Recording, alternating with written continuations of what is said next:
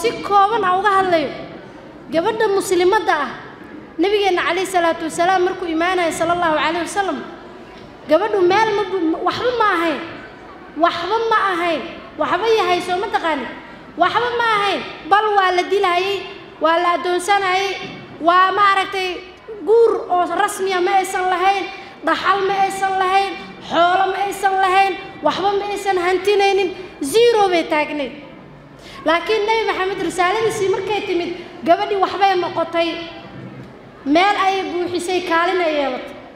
Daraad maxaa loo dabaaldegayay world international women's day soomaali alyawm alcaalami lilmar'a maxaa la dhahay maalinta caalamiga ah ee gabadha goormee la dhahay?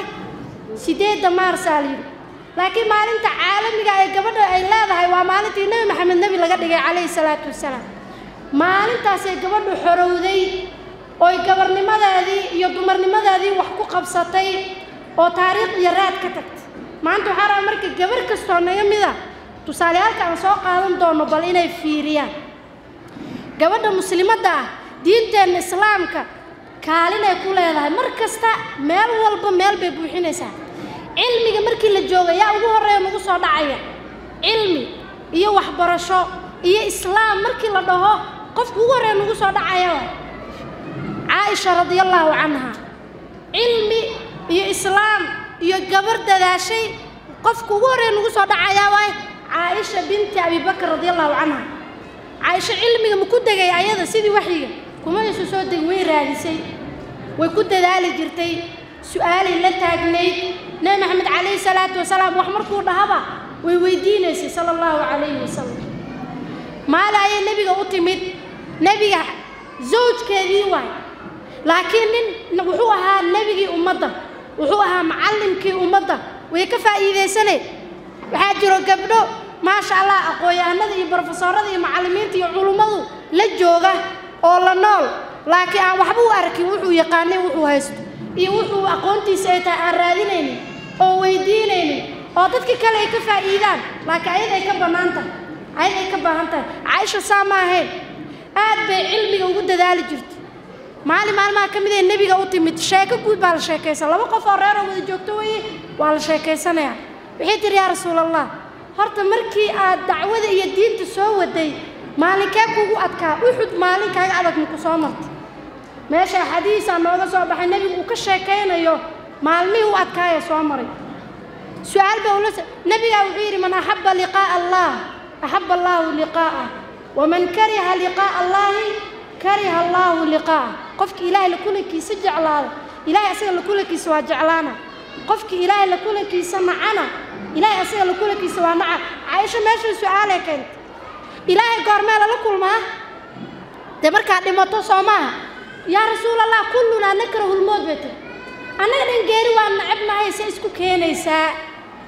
Markaasuu nebigu uga jawaabay calayhi salaatu wasalaam oo uu meesha u caddeeyey nebiga calayhi salaatu wasalaam caaisha cabdullaahi ibn abi mulayka nin la yihahda wuxuu yidhi kaanat laa tasmacu shay-an laa tacrifuhu ilaa raajacat fiihi xataa tacrifahu wax hadday maqasho wixiina aysan hore u aqoonin ama aysan fahamsanayn waa ku noqonaysa waa weydiinaysa arday waxa lagu yaqaano saas waay. Wixii oo duuduuba inta qaadato la bixi maysid wixii inay fahamto ayay isku dayaysa caaisha radia allahu canha xataa maamada hadda waxay noo sharaxdeen maseerka soomaaliya caaisha maseerkeeda dhexdiisa cilmi ku dhex baranaysa. Ayadoo maseeraysa oo maseertay oo habeen nebiga calayhi salaatu wasalaam uu ka soo tegey oo nebigu quburaha soo booqanay waxay istiri islaamihii kalu aadaya.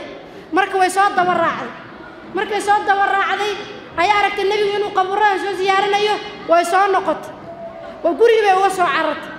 Nebigu gabadhan wuxuu arkay xaaladeedu aysan deganayn wuxuu yidhi caaisho maxaa kugu dhacay?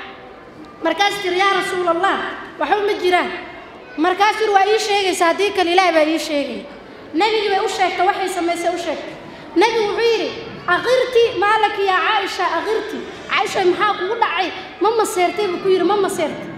Markaasii tiri yaa rasuul allah wamaa lii laa yugaaru milii calaa mislik oo adiga maaba lagu maseerayninba nuuca dadka aan loo maseeraynin maata yacni inaan kuu maseero xaqa u leeyahay waa.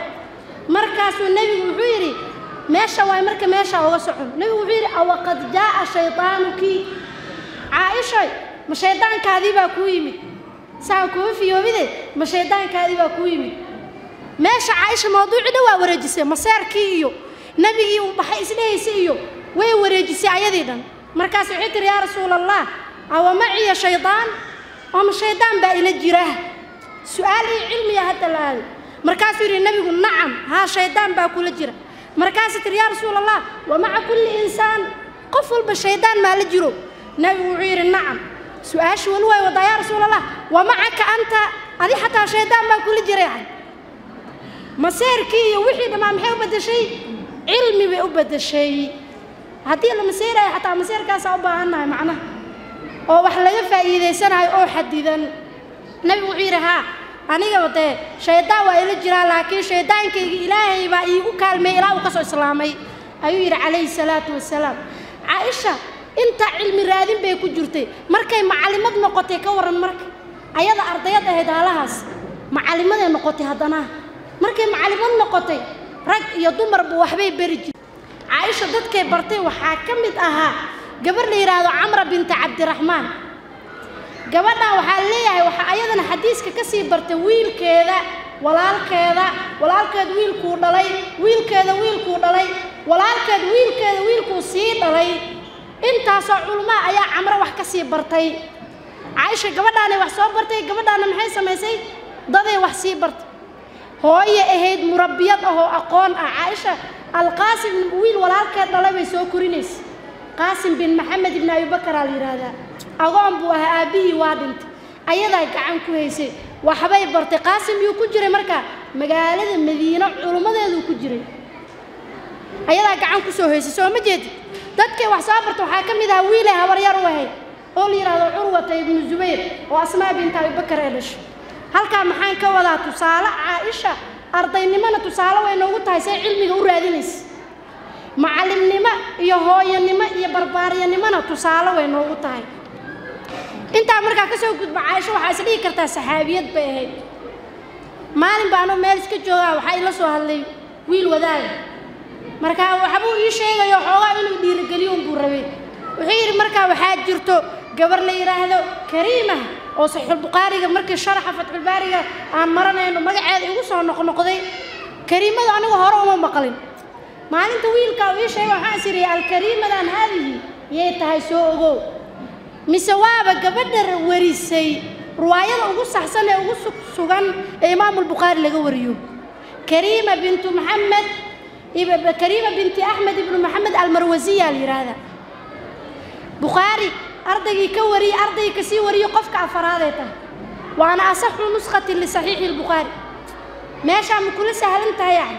Saxiixulbukhaari waxaa weeyaan asaxu kitaabin bacda kitaab illaah nusqada ugu saxsanna waa riwaayad gabar ay leedahay waa kariima binti axmed ibni maxamed almarwasiya waxay idinaa mar kasta niyadda ku hayno kariima culummadii magaa adduunyada u imaan jireen xaramkay fariisan jirtay dadkay diinta beri jirta waxaa rabaa waxyar inaa ila dhegaysato yacni waqtigana waa kooban yahaye alimaam addahabi kariima markuu tilmaamay wuxuu yidhi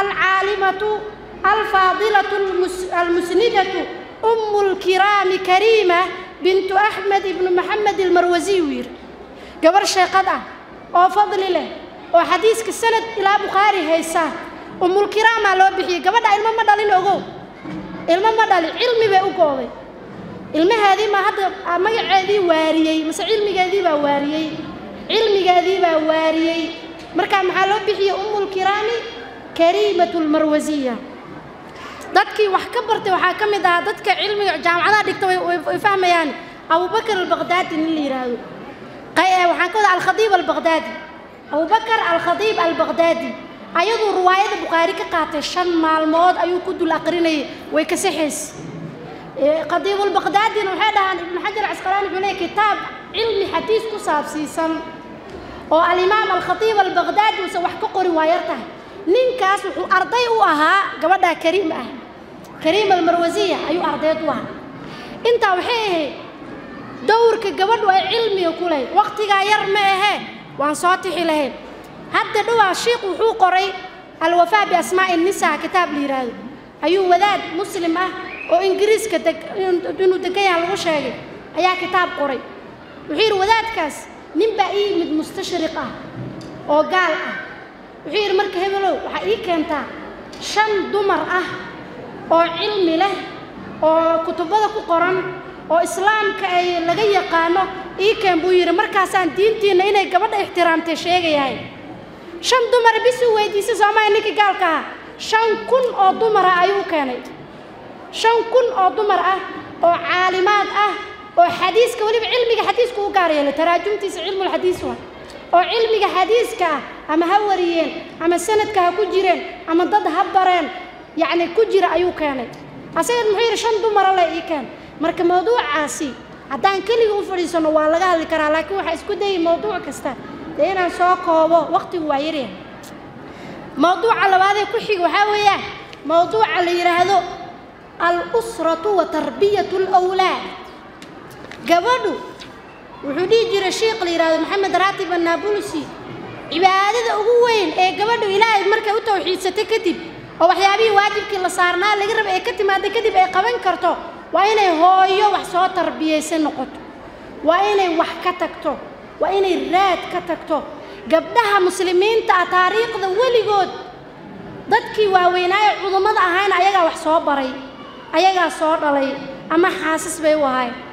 Weligaa maqli jirta waraa'a kulli rajulin cadiim imra'atun cadiima. Nin kastoo weyn oo aragto gabar baa ka dambaysana maqli jirto. Qofka bini aadamka muxuu jecel yahay mataqaanaa in la yidhaahdo qofkii ugu horreeyey soo maaha annaga gabdhaheenna islaamka waxaa weeyaan women of forestis waay yacni waa gabdhihii ugu hor gabadhii ugu horreysa muslim qofkii ugu horrey islaama gabar bay ahayd. Qofkii ugu horreeyo diin u dhintay gabar bay ahayd. Qofkii ugu horreeyo isbitaal sameeye gabar bay ahayd. Qofkii ugu horreeyo jaamacad sameeye gabar bay ahayd. Riwaayada ugu saxsan ee bukhaari gabar baa haysay nuskhada ugu saxsan tiri adugu waa la helaya waxyaabo badan oo gabadhu ay ugu horreysay. Awal shahiida fi lislaam hadda marka tusaalayaal yaraa rabaa inaad isiiyo waa maqasheen laakiin inaa idin xasuusiyo. Nabigeenna calayhi salaatu salaam markay diinta ku soo degaysay khadiija bintu khuwayla soo mar kasta lama sheego. Waxaan rabaa horta khadiija waxaa weeye inaan inta kitaabo ka qorno maalmo u fadhiisanno wallaahi saxaabiyaadkao dhan anigoo jeclahay laakiin khadiija si gaara iigu weyn tahay sababta waxaa weeyaan kitaab waxaa arka la yidhaahdo gabar gaalaa qorta kitaabkaas. Waxaa la yidhaahdaa how to help your husband get ahead. Idfacii zawjaki naxwa najaaxay ku leedahay moogta waxay ku leedahay ninkaada inuu guulaysto oo uu heer gaaro ma aragtay ku riix camal se uga se ugu kaalmaynaysaa laba dhinacay fiirinaysaa marka social and financial lifeka inaad se uga caawinay. Yacni arrinta bulsho ahaan iyo noloshiisa dhaqaale ahaan ninkaada dee nin ka dhig bay ku leedahay moogta waxbay tixeen marka qodobay tirine qodobo tiro badaanay tirinaysaa. Gabadhaasi waxay xaas u ahayd nin la yidhaahdo deel kaarniik deel kaarniikigan asi naftirkiisu nin nolosha ku guulaysta waa ahaa laakiin noloshiisu waa kala dhimanayd. Nolosha adduunyada unbuu magac ku sameeyey. Buwaagtiisu waxay noqdeen besti seller books ayay noqdeen shirkaduu sameeyey laakiin ninka akhiiran waxaa la yidhahdaa waa isdilay. Ninka successkaa gaaray ee gabadhaani saa ayada naftirkeeda u guulaysatay qabay waa isdilay. Sababta waxaa mataqaanaa ninkaasi jaanibkii diiniga iyo ruuxdii ahaa kama guulaysanin. Annaga gabadhaa waxay noo yeerinaysa waxaa nooga filan khadiijo waxay noo yeerinayso. Khadiija bintu khuwaylad waxayna barayso aa noogu filan. Nabigeenna calayhi salaatu wasalaam markii nebi laga dhiga isagoo murugaysan oo jibriil uu soo ceejiyey oo diintu ku cusub tahay oo risaaladu ku cusub tahay ayuu soo baxay sala allahu calayhi wasalam khadiiju u yimid. Adeerkii abudaalibaa joogay muxuu aadi waayey? Adeerkii xamsaa joogay cabbaas baa joogay eeddadii safiyaa joogtay kulli ma aadin saaxiibkii abubakar baa joogay kulli ma aadin wuu soo aaday? Khadiija bintu khuwaylad buu soo aaday. Culummadu waxay dhahaan nebigu khadiijo wuxuu u sheegay wax uu nimanka kale u sheegi lahayn. Wuxuu ku yidhi yaa khadiija laqad khashiitu calaa nafsii khadiijo nafteedii baan u cabsaday.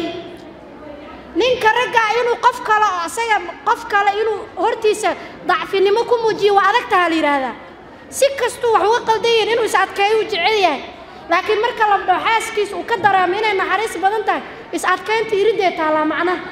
Nabigu wuxuu yidhi yaa khadiija laqad khashiitu calaa nafsii khadiijo nafteydii baan u cabsaday khadiija maxaa u samaysay nebiga. Waa waashayey cidihii isku soo wacayoy markaa buuraha gelaysa wixii kugu soo inay kugu dhacayaan waa ogaa. Markaa buuraha gelaysa waxa inay kugu dhacayaan waa ogaa.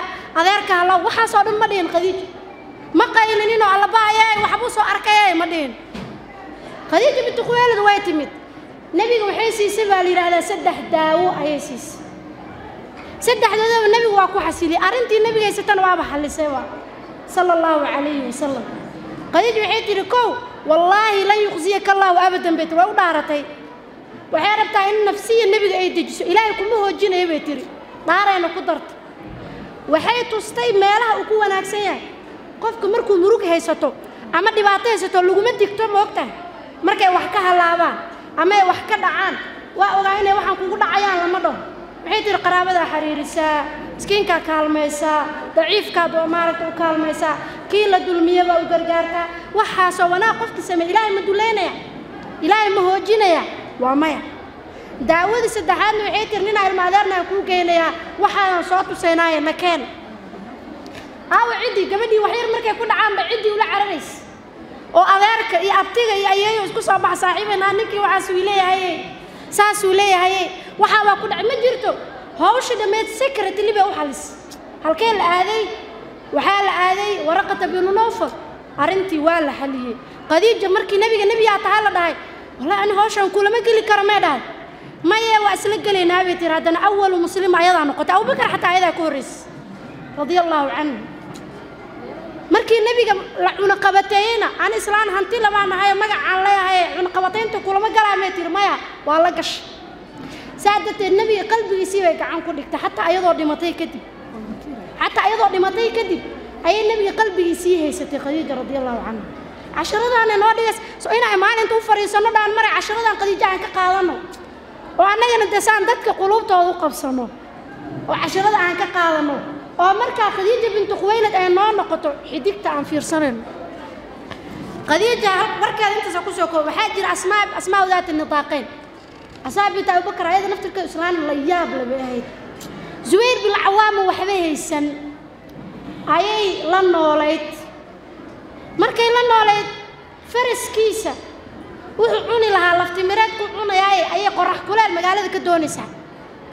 Maalinba ayadoo culays wadda nebiga ku soo ag maray yacni neef geel gaadiid isagoo wata asmaay soo kor buu yidhi culays baa sidaa qorax kuleelna way tahay asmaa binta abubakar way ka xishootay nebi maxameda waa bixi karaa bay ku tiri. Zubayr bay u soo noqotay. Waxay tiri zubayrow maanta wixii igu dhacay ma garanaysaa? Maya nebi maxamed baa igu hor yimid wuxuu yidhi gaadiidkan soo kor anigana waa ka xishoodayo inaa maseer badan tahay baa ogaabay tiri. Inaa maseer badan tahay. Way og tahay zubayr bin cawaam inuusan nebiga ka maseeraynin laakiin waxay rabtaa inay u xaqiijiso inay ilaalinayso. Xataa nebi maxamed baa ha ahaadee inay qalbigiisa ilaalinayso. Marka waxay leedahay zubayrow inaa maseer badan tahay ogaa waa soo lugeeyey. Wuxuu yidhi qorax kulaalkaas iyo culayskaas idaa igala darnaa buu yidhi maseerkeyga dad waxay ahaayeen qofba qofka kale uu ka naxaay bay ahayd. Qofba qofka kale uu ka fikiraay bay ahayd. Ee hadda yaa wax lagugu ogaanin iyo gabadhu yaysan lacag kugu arag iyo ninkayu wax kugu yeelanin hadhow ma aragta islaanuu kula guursanayaa iyo maanta dhan jallaafe ima jirin. Dad wax isku quura ayay ahaayeen. Waxaan jaanibka ku soo gabagabaynayaa gabar ayadana taariikhdeedan dhinacyo kala duwan laga fiirin karo. Ummu sulaym. Ummu sulaym bintu milxaan. Rumaysaa iyo rumaysaa magacyadeeda waa la dhahaa. Alrumaysaa bintu milxaan. Gabadha gabar la yaab labeey laakiin ani meesha hadda ugu socdo waxaa weeyaa ummu sulaym wiil yar bay haysataa hooyanimadaa rabaa intaa halka u keeno. Anas binu maalik bay haysataa anas aabbihii waa baxay dhulka shaam buu tegey meeshaasu ku dhintay isagoon muslimeyn cunugan waxay dhahaan almuraahaqa yacni muraahaqanimadii bilowgeedii buu soo gelayaa waxaa toban sanuu soo gaaray. Hooyo waaye wiil toban sano soo gaaray waa markay ugu dhib badan tahay ilmaha haynto. Oo teenageriska ay yihiin oo keligeedna ay tahay macnaha single motheriska umu sulaym waxay u tahay? Tusaale u tahay. Hooyada single mother ah umu sulaym maxay u tahay? Tusaale u tahay. Cunugan bay haysataa nin uma joogo. Nebigiibaa hadda magaaladii soo galay. Umu sulaym way fikirtay. Qof walba nebiga waxbuu wax fursad ku raadsanay soomayn abu ayuub alansaar wuxuu yidhi nabi maxamed oo kaala gurigaygii dag kuwa masaajidkii dhulkii laga dhisi lahaa bay siiyaan. Umu sulaym waxay tiri war nebiga maxaa uga faa'iidaysataa adigana cunugeedii yaraabay gacanta soo qabatay radia allahu canhaa cunugeedii yaraa ee anas ahaa ayay gacanta soo qabatay umu sulaym. Markaasay tiri yaa rasuul allah rasuulka ilaahayow kan waxay tiri waa wiilkayga. Weliba haadaa unaysun bay tiri anas yara waa way tiri wiilka waa anas yare. Magaciisu way taskhiiris inuu kaa kuu qaadimeeyo ayaan rabaa bay tiri nabi maxamedow ha kuu adeego. Umu sulaym wiilkeeda ma shaqaalanimay u soo keentay xaashaa lilaahi nebiga shaqaalanimo agtiisa maba ku dareemayo? Laakiin waxay rabtaa nebiga tarbiyadiisa inuu qaato. Nebiga cilmigiisa inuu qaato. Intaa may ku ekaysata maya? Maalin bay u timid nebiga calayhi salaatu wasalaam. Markaas tiri yaa rasuul allah wiilkan anas waayo wuu kuu qaadimeynaya iigu duceey bay tiri iigu duceey wiilkeedii bay la jihaadaysaa maanta dhan. Iigu duceey bay tiri. Anas binu maalik muxuu noqday? Nebiga dadka ugu badan ee axaadiista ka wariya nebi maxamed baa u duceeyey arrinta kale umu sulaym aan ka soo qaadanaya waxaa weeyaan nin baa soo doontay abu talxa al ansaari la yidhaahdo gabadhan meeshan bay keligeed joogtaa reer ma leh. Ninka markuu soo doontay hanti buu leeyahay abu talxa al ansaari hanti tiro badan buu leeyahay. Waxay tiri inay uga faa'iidaysatay rabtaa waa islaam meel u socotoo risaalo xambaarsan waay. Waxay tiri abu talxow adiga nuucaada camal lama celiyey tiri waa hadal soo jiidisaa moogta misluka laa yurad bay dhahay adiga nuucaadoo kale wallaahi lama diido lama celiyo. In xaas loo noqdona lama diido. Laakiin waxay dhahday abu talxow adig gaal baa tahay bay tiri. Anigana muslima ahay. Meesha u socotay gabadha waxaa weeye ninkaa inay soo islaamiso. Kowda hore marka xeradii bay soo gelinaysaa adiga camal lama celiyo. Wallaahi nuucii ugu fiicnaa baa tahay. Laakiin de dabeecadaha baa leedahay. Abu dalxa waxay waxay tiri haddaa soo islaamtana fadaaka mahrii bay tiri meherkayga ma rabtaa haa islaamnimadaada waayadha waa nin hanti la ogow magaalada beeruu ku leeyaha beero. Nin faqiira maaha. Laakiin halkee bay ujeeddaa ma lacag bay fiirinaysaa arooskayga hoteelka ugu qaalisan ha laga dhigo. Meherka kaamirada ii geli intaasoo milyan oo doolar intaasoo garaam oo dahab ah. Heblaayo halaadhow anaa kuu cafinaya iga sheeg. Cadowga iga jabi. Ummadda cadow aan loo jeedinaya gabdhihii lagu itixaamay moogta marka maanta waxaan leeyahay cadowga iga jabi. Cadowgii baan jebinayaa waxaasoo dhan uma jeedo islaamnimaa madaxeeda ku weyn ilaahay baa ku weyn risaaladii baa ku weyn. Waxay leedahay marka haddaad soo islaamto fadaaka mahrii bay dhahay. Meherkayga kaas waay. Abu talxa ninkii la buu noqday oo ashahiidulxayi xataa la dhihi jiray oo nebiga difaacay oo dagaalkii wuxuu dhaawacyo badan ay ku dhaceen. Nebi maxamed oo gadaasheeda gal buu yidhi warankii nebiga soo aadaba asaa isku dhigay waa ninkii fuliyey aayaddii ahayd lan tanaalu lbira xataa tunfiquu mimaa tuxibbuun oo beertiisa u jeclaa bixiyey waaye umu sulaym qoftaabay ahayd.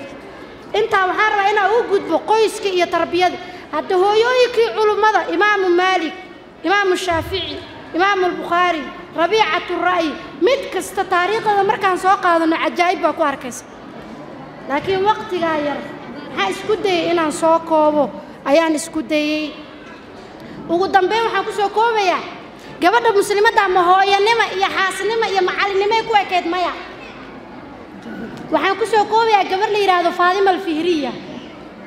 Gabadhaan hanti tiro badan bay heshay nacam.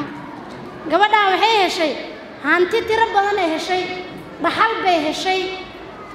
Waa sidii la rabay soo maaha laakiin waxay tidhi aabbahay aabbaheed iyo ninkeedii bay hanti ka heshay waa inaa masaajid jaamica ku dhisaa bay tihi hantidee dhaxal ku heshay siddeed iyo toban sane waxay dhisaysay jaamic la yidhaahdo alkhayrawaan magaalo faas la yidhaahdo maqrib ku taala toban iyo siddeed sanona waa soomaneed. Intuu jaamica ka dhismaayo waa soomneed jaamacaddaas waxaa loo aqoonsaday aqdam jaamica fi lcaalam waagii dambe jaamacadu isku beddelay. Yuneska xataa way aqoonsan tahay. Jaamacaddii ugu horreysay ee adduunyada laga sameeyo gabar baa aasaastay muslimad ah gabadhaa haddaynan jaamicii micnuhu ku fadhiyo ogeyn lacagteeda ma ku bixin lahayd? Waxaa marka tusaaleyaalkaa u soo qaatay war gabadha muslimadda meel bay buuxinaysay. Su'aal baan rabaa hadda inaa adiga kaaga tago. Haddii aad xaas tahay ama aad ardayo tahay ama aad hooyo tahay ama aad macallimo tahay ama aad dhakhtaro tahay halkee baa buuxinaysaa? Meesha aad buuxinaysid iyo waxa aad ka soo bixaysid iyo waxa aad qabanaysid waa halkee mise waa iska nooshahay su'aalaha guriga oo la tag ee bal ku fikir ani maxaa risaalo ah oo sidaa? Maxaan adduunyada ku soo kordhinay? Maxaan diinta ugu talagalay? Maxaa islaamnimada u soo siyaadiyey? Maxaa ilaahay diintaasaa cisiyeelaye aniga maxaan ku darsaday? Asalaamu calaykum waraxmatullah sababta waxaa waaye khayrada iyo maseerku waa qofka arrin dabiici ah waana arrin caafimaadku uu ku jiro. Waxa uun dhibaato ay keenaysaa marka xadkeedii la dhaafiyo oo xajmigii ay lahayd xajmi ka weyn loo saariyo. Bismillaahi raxmaan raxiim assalaamu calaykum waraxmatullaahi wabarakaatu walaalahayga qiimaha badan waxaa noo socday oo aan soo bilownay barnaamijkeenii aan ugu magac darnay guryihii nebiga calayhi salaatu wasalaam cashar iyo cibro qeybtii ugu horeysay waxaan ku soo bilownay hooyadan caaisha radiallahu canha iyo mawaaqiftii ee la soo martay xabiibkeena moxamed sala allahu calayhi wasalam maanta qeybteena labaad waxaan ku soo qaadanaynaa mowduuc aada iyo aada u muhiim ah. Waxaan u fiirsan doonaa insha allah xadiid caaisha radiallahu canha ayada naftirkeeda ay noo warinayso oo ah arrin ayada iyo nabiga calayhi salaatu wasalaam dhex martay. Kadibna waxaan kala dhex bixi doonaa cashiro dahabi ah oo aada iyo aada u muhiim ah oo anfici doono qoys kasta oo muslim ah oo dhisan iyo qoys kasta oo dhismi doona.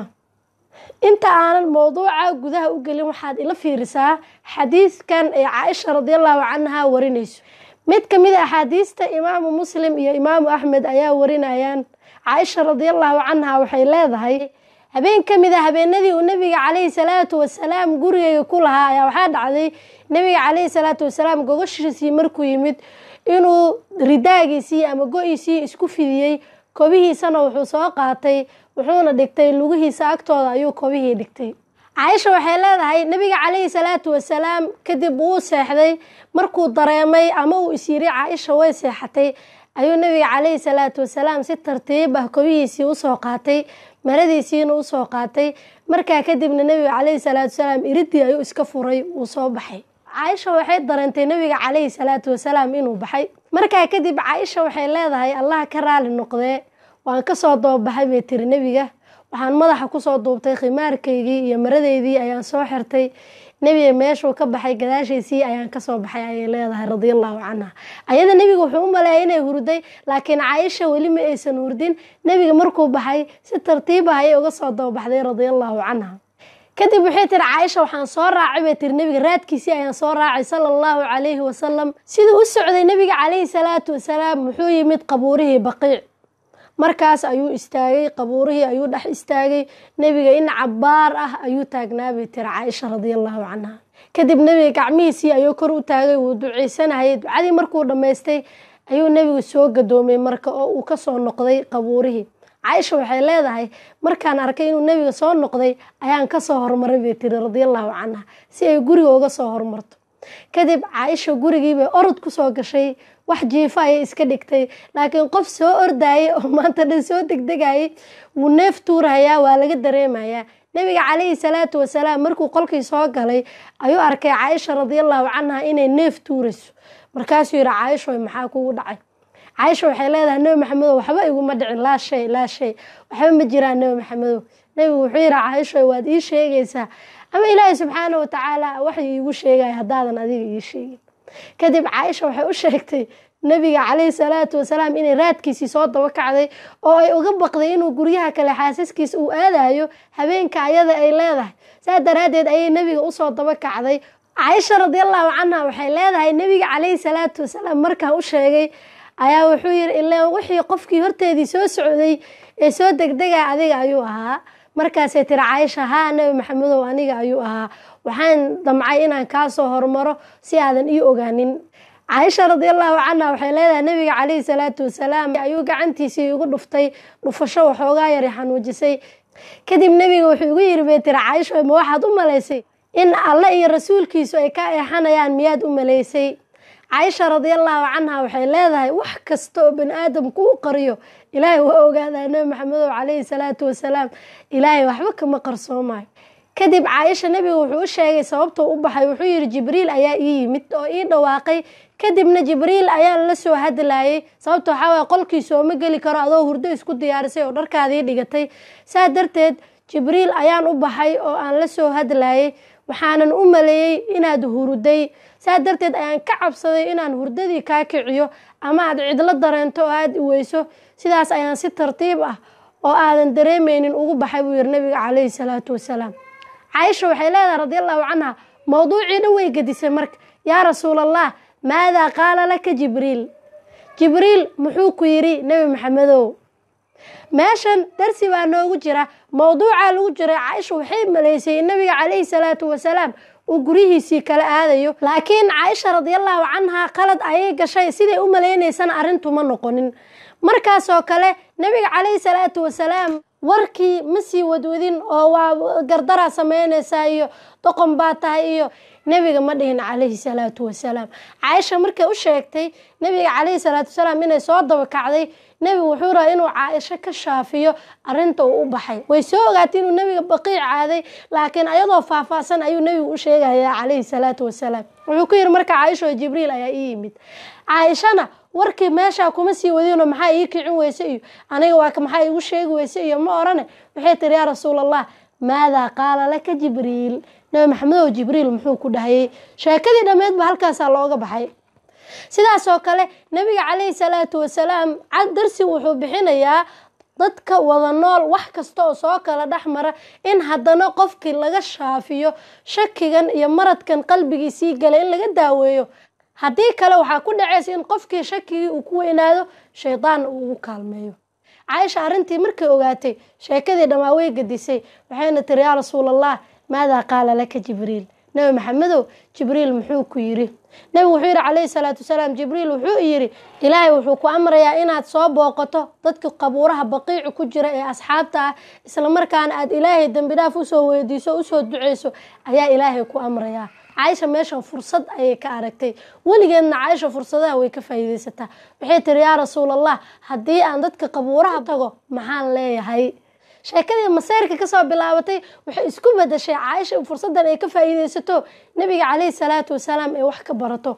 Nebigu waxay ku tiri marka yaa rasuulallah haddaan dadka qabuuraha ku jira booqdo maxaan ku dhahayaa? Nebigu wuxuu yidhi calayhi salaatu wasalaam waxaa ku leedahay assalaamu calaykum daara qowmi mu'miniin wa innaa in shaa allahu bikum laaxiquun hadda bal aan yaro isla eegno duruusta iyo fawaa'idda muhiimka ah ee xadiiska noogu jirta waa marka koowaade sida nabigeena calayhi salaatu wasalaam uu u ilaalinahayo xaaskiisa.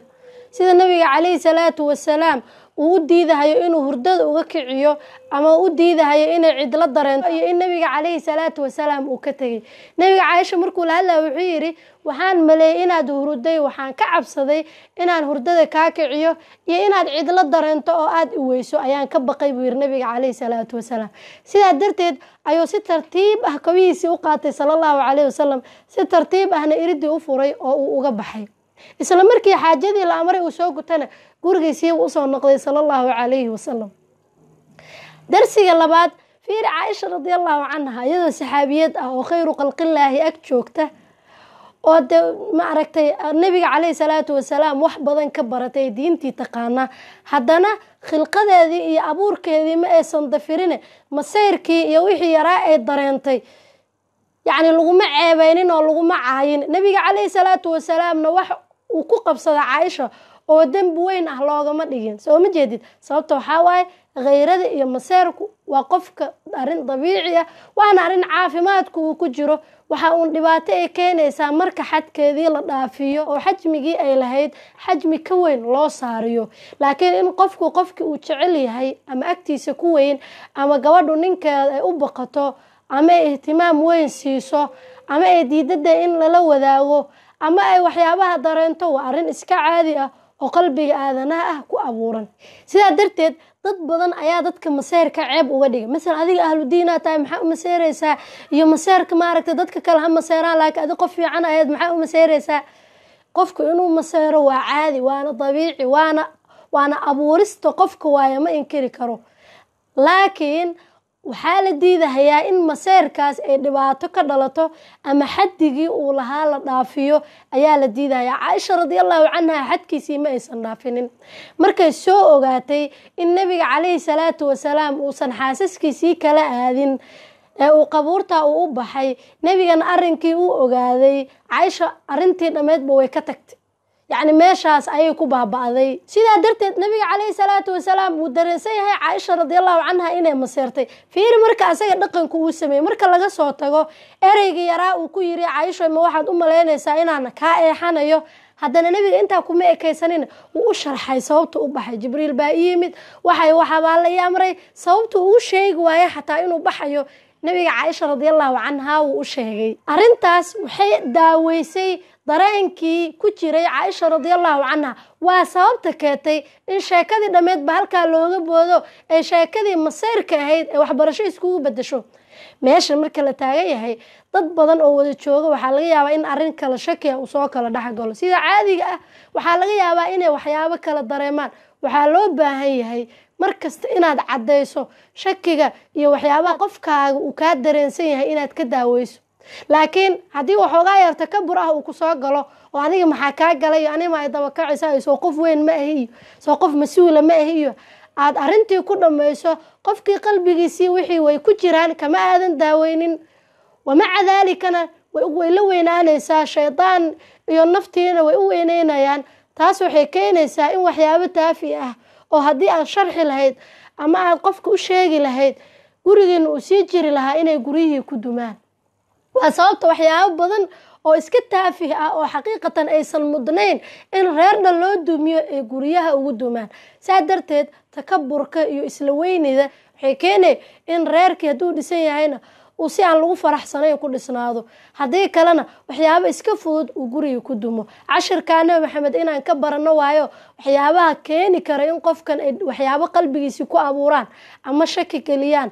Inta aad daaweyn kartid inaad daaweysid cashirka saddexaad caaisha radiallahu canha waxayna baraysaa cashir aada iyo aada u muhiima dad badan markay wax qof ku qabsadaan ama ay qof ku dagaalaan ama ay qof wax ka dareemaan warkii unbay sii wadahayaan afar iyo labaatan sac oy sii dul saarnaanayaan.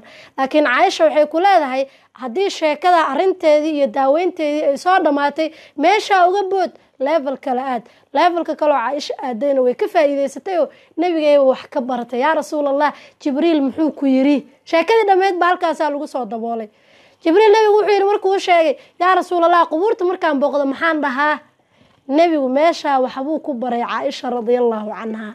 Waa caaisha xikmadeeda iyo xinkadeeda iyo sida maaragta caqligeeda uu u wenyahay in sheekadii dhammayd ee maseerka ahayd inta ka soo boodo ay mawjad kale korto ah inay waxbarato saa darteed duruustaas marka waa duruus aada iyo aada u muhiim oo haddii aan naqaano islamarkaana guryaha lagu dabaqo guryaheenu ay ku dhismayaan si aanan kala shaki iyo kala cabsi jirin waxaan rajaynayaa inkasta uu muuqaalku dheeraaday haddana inaa ila fahamteen meelaha u socdo. Adiga naftirkaada waxaa laga yaabaa in waxyaabo aanan sheegin aada xadiiska kala dhexbaxday maxay tahay waxyaabaha aad kala dhexbaxday ama aad ka fahantay ama aad ka faa'iiday? Ugula wadaag qeybta hoose ee commentiska aada iyo aad ay u mahadsantihiin.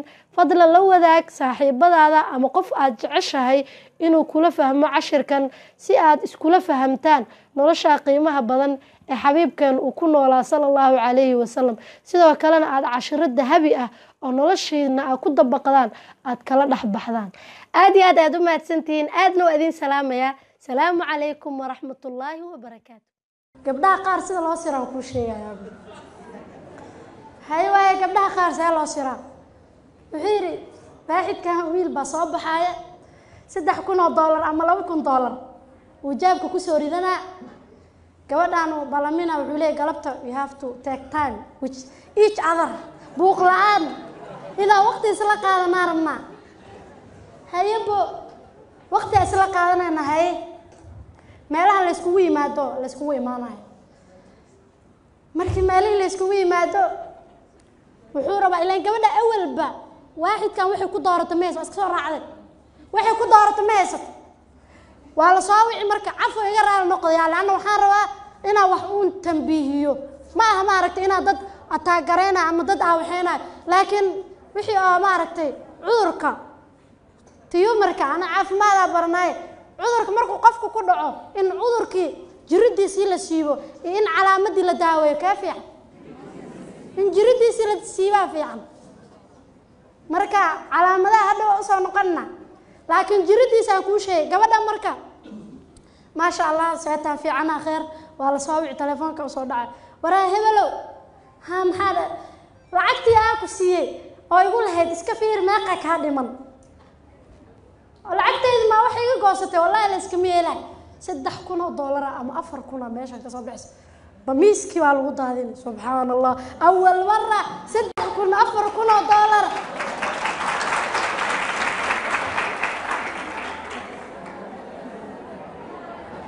awal mara saddex kun afar kun oo doolar doolarka waa dhawaaqaya moogta.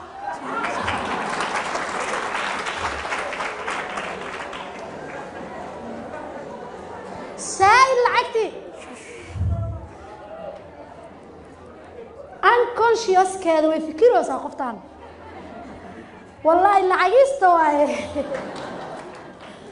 Saddex kun oo doolar fadhigaa lagu tirinoyaa meeqa u xaraysan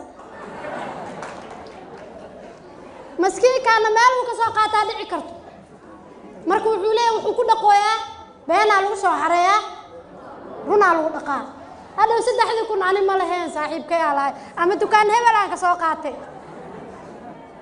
laakiin haddii ay jiraan waxyaabo qofka aa ku dooranayso oo ku calaamaysan wallahi tilmaanta waa leeyahy kan waa leeyahy kan waa leeyahy tafadal ay jiraan lacagta ma fiirin lahayn lacagta priority number one makuu noqonayso laanna saddexdan kun hadda hirtas hadduu ka baxo nin qor wata ka hor imaada ka qaataa ku filan lacagtu ma aha maaragtay owlawiyad maaha taas marka waxay keenaya cashwaa'iyat likhtiyaar aa dhahaa qofkii wuxuu wax ku dooranaya ma jirto. Cashwaayi waay waa isku dhex yaacsan yahay. Hadhow gabadhii waa wareereebu waxay ku wareeree. Toban qofoodee la hadlay ama wiilkii toban gabdhooduu la hadlay miduu doortuu weynahay ta waa fiicanta waa hadal macaan tahay. Ta waa wiji qurxan tahay. Tan waa waxay barataa aqoonay leedahay. Tan way shaqaysaa kistay haysaa.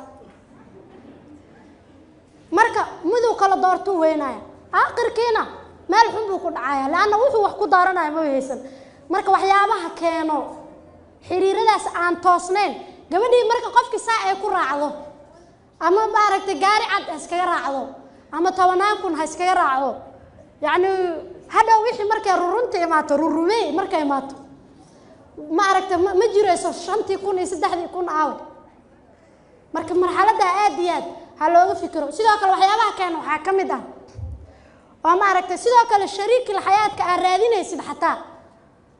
Dadka qaar niyaddooda iska wanaagsan moogta niyaddu wanaagsan ay leeyihiin.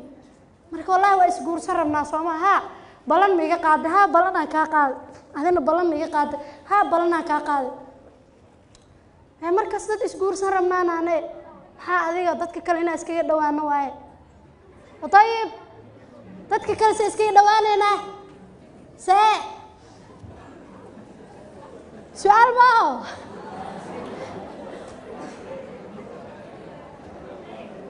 dadka kale waa iiga dhowdahay dabcan mustaqbalaa kale leenahay waa rajeynaa laakiin see dadka kale iiga dhowdahay ii sheeg. See kaaga soo dhawaana kula soo degaa gurigaa ma imaana. May laakiin yacni n n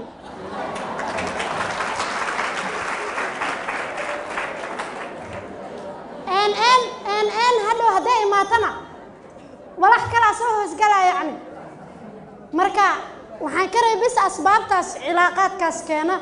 Sidoo kale saaxiibada xunna way keenaan saaxiibada xun aad ba u saame badiin weli ma aragta qofka markuu xilliga dhallinyarnimada uu maraayo saaxiibka aad buu ugu dhintaa gabadhuna saaxiib bay ku dhimataa wiilkuna saaxiib buu ku dhintaa saa darteed saaxiibada marmarka qaar waa isfashinaa wiilal baa meel ku sheekaysanaya midaa wuxuu yidhi aniga gabar fiican oo wadaad ah oo diin leh aan guursanaya قبلها ما رحت ميلها تاك تاجن مروا كو كلا في عي تاك إلا بوير علي ما في عنات ذبرك كوال وحير أنواع في عالم حياة قلت برطا مال ملي وحير اله وحير ها الصالحات والصالحين ما هذا نو ده الطيبات للطيبين كسر تفاسير كلمة لصي الطيبات للطيبين وعماشة وأنا أحسن يدك سمعي لصوقات لكن وحير إلهي وحير هي قفك وناكسن قف وناكسن إلهي كو أدينا هي أدي ما وناكسناتي مركز يقول أنا وناكسن أدي ما وناكسن بوير ما أنا كست قري هبلو قبلها كينا قري صاحبك مجد صاحبك دول بوكتوري هذا وحير ما أنا كستو قري صاحبك قبلها كينا سي وحير ما ديكا أو وناكسن سيما قبلها حقوذي أو مركز يدنو سؤال كيما شكو أمسي fadeex number one.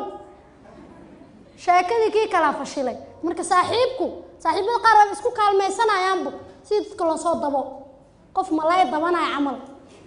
Way isku kaalmaysanayaan dadka qaarna ma aragtay si indaaragtii bay kugu dhiirigelinayaan. Sabax meel dhow le aadeynaa caawada afar saac shan saaca imaaneynaa meeshee maxaa laga qabanaya adi weligaa inaa su'aal badnaataa fiican mug haddii kale walax badanaa halaaba marka waxaa rabaa waxaa rabaa waxaa rabaa qofka inuu ma aragtay waktiga aad iyo aad igu yar saaxiibku xunaada la iska ilaaliyo.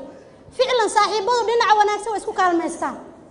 Oo wax aqriska wax qoraalka dadka xuquuqdooda in la ilaaliyo sharaftooda in la dhowro u sheeg saaxiibka haddaa qalad ku aragto. Macallin baa maalin inaa maqashaana waa dhici karto qisadaas wuxuu yidhi wiil baa yimid markaasuu yidhi ustaad caan waa taqaanaa. Wuxuu yidhi markuu arrimihii waxbarashadii waxaa kala tashtay. Ayuu ku yidhi gabdho badanaa la socdaan see yeelaa. Meeqaa la socotaa koo iyo toban gabdhood. Haye koo iyo tobanka gabdhood see yeeli lahayd sidii walaashaa in la yeel aa rabi lahayd yeel buu yidhi. Ficlan waa su'aal mandiqa walaashaa koo iyo toban nin inay la socoto ma lahayd maali kulankaa kulanka horreey anoo meel gees gees fadhiya isliinta ayaa gabar saas oo kala tiri. Markaasaa wiil gadaal wuxuu ka yidhi walaashii hadda iyada isdhigto hal yeelo. Wallaahi dhageygaa ku maqlay. Kaas nin rag ah ma aha. Waa uun iska nin.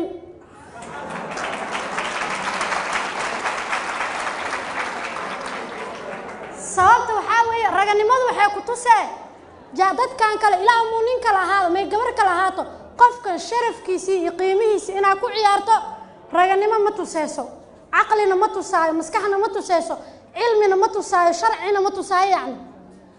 Marka intaasoo dhan waxaa weeye qofku inuu inuu inuu iska fiiriyo waay saaxiibada xun qofku inuu iska ilaaliyo. Waxyaabaha marka keena waxaan dhahnay waxyaabahaasa ugu weyn oo ka mid ah. Marka ay arrimahaasi dhacaan oo ma aragta qofku si qalada wax ku raadiyo si aan toosnayn ama si qalada qofku wax ku raadiyo maxaa imaanayso? Wiilkan awalba jacaylka haddaal aan soo sheegayno rurunka maahayn oo ma aragta jacaylka waxaa u soo horumarsadayba waa laguma marsiyoodaa xiriirkaana loogu soo hoos dhuumanaa. Maxaa lagu leeyahay xiriir jaceyl xiriir jaceylna maaha waa xiriir danaysi. Sababta waxaa weye qofkan haddaad jeceshahay wallaahi aad jeceshahay oo qalbigaada aad ka jeceshahay xumaantiisa ma rabi lahayn haddaa gabar yahay wiilkan jeceshahay dhibkiisa ma rabi lahayn. Waay a u dhibee yani haddaad jeceshahay waay a wiil oo gabadha u dhibee haddaad jeceshahay.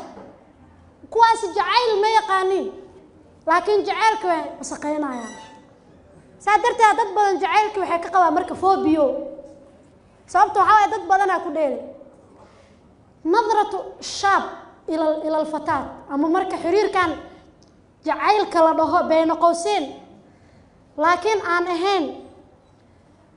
Oo jacaylka la dhaho laakiin aan ahayn. Waxaa weeye yacni qofku wuxuu u arkayaa gabadhan wuxuu is leeyahay gabadhan oo qof walba iska ogol. Toloo hortee meeqay soo ogolaatay? Su'aashaasaa wareerinaysa. Wiilkii gabadhii waxay leedahay wiilkan oo anaada dhibkaas ii geyso saa ii soo dabay hortay meequu saa u soo galay? Qofkii maxaa ku dhacay marka tawatur stress depression walwal murug aa ku dhacayso. Ha ka sugin marka gabadhuu saa u soo adeegsaday ama uu soo isticmaalay ereg haddaa isticmaal eragaas haddaan dhaho karaal noqdo laanna erayo qaarna ay dhahdo waa culus tahay. Ma rabo marka gabadha mustaqbalka ma rabo inay ilmihiisa hooyo u noqoto kama rabin. Wahadihi lmiskiina caatifatuhaa waxay tuse waxay u aragtaa qofkaani mixwaru xayaatihaa. Nolosheedoo dhan garaangarti uu ku wareegay wax fiicanee kuu malaysay. Waayo depressionka haweenku ugu badanya ma fahmaysa walwalka stresska murugaha meelaha qur'aansaarka gabdhaha uma ma limaada? Yacni sababta ugu badanya waxaa weeye expectationkooda badan tawaqucaad wax badanay rajeehay wiilka wuxuusa awoodina ka rajeynay ama wuxuusan ahayna u malaynay ama si uusan ahayna u sawirmayso hadhow marka maskaxdii sidii markay weyso ra'san calaa caqib waa isbedele waxaa lagu leeyahay gabadhii cilaajay rabtaa halala wareego sababta waxaa weeye la-anna ma aragtay caatifadaadii iyo maskaxdeedii waxay rajaynaysay ayay hal mar weynaysaa way waqtigaa igu yar ma aragtay nata okay okay okay qaybta tan xigta waxaan ka bilaabeynaa waxyaabaha xiriiradaas aan toosnayn markii la sameeyo. Maxaa ka dhalan karo? Hadda waxaan dhahna wiilka wuxuu arkaa qoftani waa alaabtani waa waa used waa mustacmal gabadhii waxay leedahay wiilkani waxaa weeye daacadka ma aha ama waxaa nolosheeda dhan ay u dhiibtay nolosheeda maadaama kulanku uu yahay baraaruga waalidka iyo in waalidiinta la baraarujiyo kolay dawaahirta hadda laga sheekeeyey oo soo baxay oo masalan gabdhihii iyo dhibaatooyinka soo wajahayo daraagiska imaanayo waxyaabo kalea jiro fikri ah oo maaragtay ilxaadkii iyo wixii dhallinyaradii intii walba aqoonta lahayd oo diintii wax ka taqaanayna maaragta wareerinooyo dawaahirtaasoo dhan maaragta waa mashaakil cawaarid ah oo nagu yimid oo in salka laga siibo u baahan waay. Laakiin in maaragta la yimaado oo laga sheekeeyo oo aan dhahno taasaan haysato saasaan haysato kuma filno. Oo maaragta la sheego wixii la sheeg sheego keliya kuma filno. Waxay u baahan tahay inaan maaragta si jidri ah oo xididka in loo siiba u baahan tahay. Taasna waxay ka bilaabanee tarbiyada waalidiinta ee carruurta siinayaanay ka soo bilaabane si loo daaweeyo mashaakishaas waa in koo waalidka iyo carruurta xiriirka ka dhexeeya uu yahay xiriir wanaagsan. Tusaale waxay dhahaan islaamka waxaa lagu dhisay shan arkaan shan usus ah lagu dhisay. Shahaadateynka waa albaabkii laga soo galay. Afarta soo hartay qof muslim ah ma aragtay asagoo xajinin wuu dhiman karaa asagoo muslim ah. Haddii uu xajka awoodin masalan asagoo weligiis soo xajin qof muslima weligii xajinin waa jiri karaa. Qof muslim ah oo seke aan weligii bixinna waa dhici kartaa oo xoolaha sekadiisa aysan u gaarin. Qof muslim ah oo soonkii qaar maaragtay cudurdaar ahaan uga tagay oo aan soominna waa dhici kartaa. Laakiin qof muslim ah oo aan salaadaynin ma jiri kartaa waa maya. Salaadii marka maxaa waaye tiirkii udubdhaxaadkii shahaateenka marka laga soo tagay kadib arkaantu ay ku taagnaayeen saasoo kale tarbiyada carruurta la tarbiyeeyo tiirarka ay ku taagan tahay. Waxaa waaye tiirka ugu muhiimsan ee asaga hadduu hallaabo asaga hadduu jabo tarbiyadii yacni inteeda badan ee jabayso oo hallaabayso waa tiir la yidhaahdo alcilaaqatu bayna alwaalid waalabnaa xiriirka u dhexeeya waalidiinta iyo carruurta. Haddii xiriirkaas waalidiinta iyo carruurta u dhexeeya uu hallaabo ama uu dumo taas macnaheed waxaa weeyaan tarbiyadiina way duntay waay. Xiriirkaa waalidkii carruurta udhexaysa uu noqon karaa marka waalidiinta waxaa loo qeybiyey saddex nuuc waa layidhi waalidiinta. Nuuc waxaa la yidhaahdaa ama dadka wax barbaariya iyo waalidiinta kulli. Waxaa la yidhahdaa almurabbi al idfaa'i waa dabdamiye macnaheed waxaa weeye saan kale markay mushkilad timaado oo dhibaato ay timaado unbuu soo baraarugaa. Mushkiladii ilaan dabdamiyaha goormee loo wacaa markuu dab kaco bas saasoo kale waalid waxaa jir marka shaqadiisa uun inta kale ilmihiisii aan ka warqabin tarbiyadoodii si aan ku tarbiyeeyaa aysan murug ku hayn. Laakiin markay dhibaato timaado oo la yidhaha gabartii saanay noqoto maanta maaragta waxaanay keentay ama wiilkii saanuu noqdo saanuu keenay inuu markaas xal iyo dabdamin u soo fariisto kaasna waalidnimada saxda asaas maaha. Waalidnimada labaad waxaa la dhahaa almurabbi almurawid waa waalidka ma aragtay rabaayadeeyaha ah. Rabaayadeeya waxaa la dhahaa xayawaanada. Markii la rabaayadeynayo wax kastaa loo sameeyaa waxaa loo dhigaa waxbaa loo sameeyaa si adi amarkaada ay u qaataan. Yacni waalid ilmihiisa ku korinayo oo keliya inuu cunugii noqdo yeesman haddii wax kasta oo waalidku uu dhaho wax kasta oo lagu markuu yaraaba lagu soo koriyo in wax kasta uu yees dhaho taas waxay keenaya ilmihii inay ku soo koraan shakhsiyadaadii oo daciif ah. Cunugii marka aad macnaa u soo ogolaan weysa inuu ra'yigiisi sheego inuu sir kuu qarsado inuu waxyaabaha qaar siduu arka uu u sheego xornimadaas uu sheego aa u quuri weysay. Hadhow markuu weynaadana yees maanta unbuu ku jirayaayo waa la adeegsanaa. Maaragta kooxaa wacanayso kooxaa adeegsanayso. Gabadhii gabdho kale u wacayaan wiilku wiil kale u wacayaan. Macnaheedu waxaa weeyaan dacfu shaksiya shaksiyadiisii oo liidataa lagu soo koriyey. Laakiin waalidka la rabo ee tilmaanta le waxaa la dhahaa waa waalidka almurabbi al iijaabi waa waalidka wanaagsan ee iijaabiga ah ee bositifeka ah. Iijaabi qofkasuu ku noqona waxaa weye cilaaqad wanaagsana waalidka ilmihii ka dhexeysa cilaaqadaasna kelimaa cilaaqad waalidku inuu masaabatil booliis inuu istaago ilmihiina ay booskii shacabka istaagaan booliis iyo shacab had saaxiibtinimo kama dhexeyso booliisku waxbuu hagaa intuu wax u leexiyaa dad buu amraa ciddi soo xir la dhuhu soo xiraa waxa weeyaan uu amar u bixiyaa saasoo kale waalidka inuu booliiska booskiisi istaago caruurtiina shacabka booskooda istaagaan ayadana waa dhibaato. Waxaa rabaa marka xiriirka waalidka iyo ilmaha ka dhexeeya naftirkeeda waxay u baahan tahay in la diraaseeyo. Waxaa rabaa xiriir sadaaqa ku dhisa inuu noqdo waxaa rabaa xiriir jacayl ku dhisa inuu noqdo. Waqtigi waa isbedela cali bin abi aalib waatuu dhahay caruurtooda caruurtiina zamanka ay nool yihiin ku koriya. La-anna waxay dhasheen zaman idinka zamankiinii ka duwan. Waalidiinteeni siddeetankii iyo toddobaatankii sidii loo dhaqmi jiray raba hadda inay ilmihii ku koriyaan. Oo casrigu isbedelay oo maaragtay social media uu yimid oo cunugaadii adiga u malaysid inaad maaragtay inuu adigu iska kaa qarini. Ilmo waxaa la ii sheegay aabbahood qur'aanku uu habeenkii ku khasbaa inay aqriyaan. Marka say u ciyaarayaan jidka markay soo marayaan oo aabbihii ay arkaan waxay leeyihiin odaygii kal faataxati ahaayaa soo socda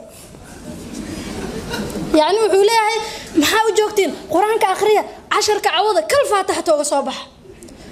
Maxaa dheh marka odaygii kal faataxati ahayd aa soo socdee dheh way ordayaan. Ilmahaas qur'aanka jeceel ay jecel yihiin may u aqrinooyiin mise cabsi ee aabbaha ka cabsanaya u aqrinooyiin nabiga caleyhi salaatu wasalaam tarbiyadiisana inaan gooni u eegno ayada naftirkeeda bilooyin iyo maalmo la diraaseyn karaa. Yani nabiga caleyhi wasalaam wiil yarbaa agtiisa fadhiyo odayaalna dhinaciisa fadhiyeen. Alrasuul almurabbi keligiisaa kutub laga qori karaa oo la diraaseyn karaa. Annaga nabiga muxuu noo yahay laqad kaana lakum fii rasuulillaahi uswatun xasana rasuulka wuxuu noo yahay kudayasho suu wax u tarbiyeynaya inaan raadino waayo marka marka wiilkii agtiisa fadhiyay koob caanaa loo keenay caanihii markii loo keenay nabigu midigaysigu jeclaa. Wiil yaraa midigtiisa fadhiya cabdulaahi bin cabaas waay bidixiisana odayaala fadhiya. Wuxuu yidhi yaa ghulaam ata'danu lii? Wiilyaho ma ii fasaxaysaa an ucdiyahu lashyaakh waxa fasaxa weydiisanoo yaa waayo? Nabi maxamed calayhi salaatu salaam yuu weydiisanaa cunug yaroo sideed jir ah. Markaasu wuxuu le yaa ghulaam ata'danu lii an ucdiyahu lashyaakh wiilka kalsoonida u qabo fiiri cabsi nabigu ka cabsanaya nabi maxamedow sii sii ma dhihin laakiin wuxuu yidhi nabi maxamedow maya hambadi adiga aa soo reebtay qof kale uma quuro nabiga asaga ayuu siiyey mees waxaa ka dareemaysaa nebigu dadku uu soo saaray waa dad shakhsiyadoona adag tahay uu barbaarin iyo tarbiyo wanaagsanna uu soo siiyey marka way badan tahay mawaaqifta nabigeena salaatu salaam ee layaabka leh ayaga keligood haddaa u fiirsan lahayd qawaacid tarbiyaana siin lahayd.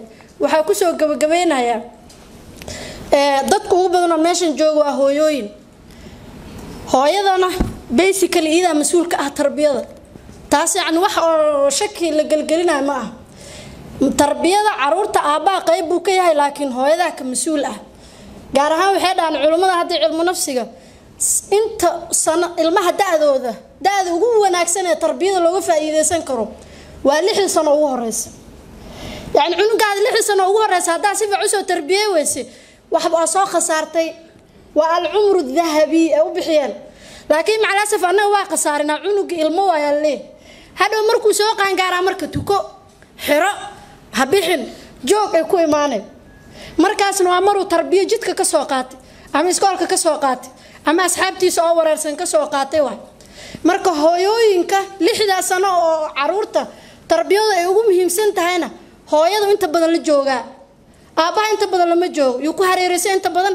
Hooyadiibuu ku hareeraysanya hooyooyinka marka waxaan ka codsanay inay cilmigoodii kor u qaadaan tarbiyadii ay bartaan gabdhaha dhalinyarada intay guursanay inay bartaan adduunyada kutubaa laga qoray dowraadaa laga bixiyay in la barto sidii caruurtii loo tarbiyan lahaa la barto oo lagu dadaalo maanta haddaa khasaalad soo gadato aada aqooni sida loo isticmaalo waxa ugu horreeya sameynaysa haddaa liifladka buugga la socda haddaad aqri karin. Naagta dariskaa weydiinay waxaa leedahay intee laga qalajiyaa? Intee lagu shubaa? Dharka meeqa kiilaa lagu shubaa? Saasaa leedahay. Famaa baaluka ilmo yar oo wiil ama gabar ah inaad maskaxdiisii dhistid marka oo caqligiisii aad dhistid oo diintiisii aad dhistid ma kaaga baahna miya inaad baratid? Hadhow waxaa marku leeyahay ha anaga maa sida ilmo loo tarbiya nalabara gabadhii inta hooyadeed u timaada ku tiri hooya kaale sida loo dhalaan ku tusayaa adduunyada hadda way isbedesho waxa la barto. Hooyadii waxa barato dowraadka ha xaadirto tarbiyada ilmihii ha raadiso. Maarag hadday waxa qarin karin xataa dad ha weydiiso. Adi waxaad guriga ha ku haysanin. Hadhowna adduunyadu waxa ugu qofka ugu xun oo ugu nasiibka daran. Waa qofka ilmihiisu sida uu jeclaa ee wanaagsanaa aysan ahayn waay. Weligaa qalbi xanuun iyo murug iyo walwal ka bixi maysid. Ilmahaadana waa akoonkaadii waay. Waxay ahayd marka dadaalkii u weynaa inaad galisid ilmahaasay ku hagaagi lahaayeen. Haddaa ku dadaashidna ilaahi subxaana watacaala qofkii dadaalay ajarkiisii ma dayacayo camalkiisiina ma dayacayo waxaa naga maqan marka waxaa weye inaan maskaxdeeni dhisno inaan wax barano waay. Ninkii gebia wuxuu yidhi fakayfa nadunnu bilabnaa'i khayran idaa nasha-uu bixudni ljaahilaati see carruurta khayr ugu malaynaynaa hadday ku soo koraan xudniga ama dhabta dad jaahilaad ah. Hooyada iyadoo wax wanaagsan same islee waxaleene marka insha allah raal noqda warka ay ku badiyey waa fariin maaragtay. Qof dhalinyaro ahay dhalinyaradii waa ku jiraa gabarad waxaa arka aabaheed wuxuu leeyahay maaragtay aroosi waxbay dhiganaysa oday marka amar wuxuu soo rogay inaan maaragta hees loo saarin canjaladeeda way soo baxday. Waxay tiri gabadhii qofkii wax duubay u tagtay. Waxay tiri aabbaha canjaladiisana nashiido u saar. Aniga canjaladeedana hees ii saar. Bilaahi calaykum waxmaa hadda la daaweeyey gabadhaasi wax miya iskaga dhaaftay. Sideedi ba u jiraan. Adi laakiin amar laa bixis. Cunugii waxaa laga yaaba hortaada inuu qof wanaagsan kuu matalo. Laakiin ma wanaagsano. Waxaa dhaa marka ilmihii qalbigooda inaad gacanta ku dhigtid. Ilmaha marka inuu ciyaartooyda iyo fanaaniinta iyo markay iska dhigdhigayaan ciyaaryaana inta u yimid garaacay oo ana camal iska dhigdhah maya laakiin waxay jeclaadeen xubbu mucjab wax la dhaho xubbu icjaab. Way ka heleen. Qaabkoodii baa la wanaagsanaaday kadibna ayaga camala iska dhigeen. Waalidka jacaylka la jeclaadana laba waay. Xubbu icjaab wa xubbu fidra la dhahaa. Jacaylka fidrigaa qof kasta waalidkii waa jecel yahay. Laakiin ilmahaada inta kaa helo dhaqankaadi iyo dabcigaadi iyo saaxiibtinimadaadii ku jeclaadaa waxaa la yihahdaa xubbu icjaab taasna waxaa lagu helo waa tarbiyo wanaagsan iyo qudwo iyo maaragta cilaaqad iyo xiriir wanaagsan waay. Marka mowduuca ballaariya halaasaa rabay inaan ku baraarujiyo oo waalidiinteenna aan u sheego aan ku celcelinayno waxaa waaye waxa la barto dowraadka tarbiyada iyo barbaarintana ha lagu dadaalo waynugu yaryihiin soomaaliya laakiin hadda inaan bilowno waay hooyooyinka inay qaataan waay aabayaalka inay qaataan waay inay dowraad galaan waay in ilmihii sidii loo korin lahaa caqligiisa loo dhisi lahaa in la barto wey fariintaas anigana ku biirina marka halaiga raali noqdo haddii insha allah aan maqaam aan mudnayn ama maaragtay dadkii wan wanaagsanaa oo jooga aan hadlay aada iyo aada u mahadsantihiin waalidiinteena soomaaliyeedna ilaahay kheyr ha ka siiyo. Daruuftii u darneeda nagu soo koriyeen xaaladtii u darneeda nagu soo barbaariyeen. Marka waxaan rabnaa sidii si ka wanaagsan uun inaan raadino laakiin waalid soomaaliyeed anuma aaminsan waalid kaloo ka adkaysi badana adduunka jooga. Siday nagu soo koriyeen iyo daruuftay nala soo maray gaar ahaan hooyo soomaaliyeed. Marka hooyooyinkeena ilaahay ajar ha siiyo. Haddii waxa ka dambeeya waxaa rabnaa hooyo inaysan ciid dareemin inaysan walwalin inaysan murugoonin oo tarbiyo wanaagsan. Ilmihii markii lagu tarbiya uu ku farxo. Ducadii dadka ducaysanaya maxay ku ducaysanayeen rabbanaa hab lanaa min aswaajina waduriyaatina qurata acyun qurata indhaha inaad ku qabowsatid qalbigaad inuu ku qabowsado waxay ka imaanaya tarbiyo wanaagsan. Aad iyo aad u mahadsantihiin. Asalaamu calaykum waraxmat ullaahi wabarakaatu